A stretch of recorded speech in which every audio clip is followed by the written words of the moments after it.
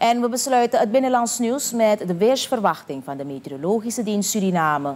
Die geldt tot en met morgen 13 oktober.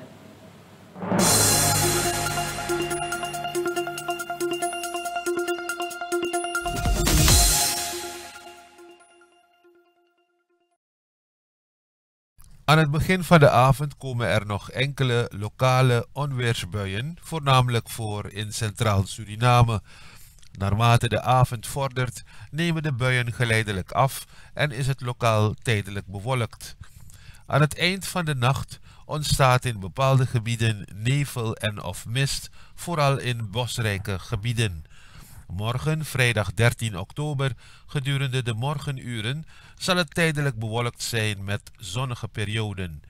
In de middag is er kans op enkele kortstondige lokale lichte buien die soms gepaard gaan met onweer, voornamelijk in het kustgebied en centraal Suriname.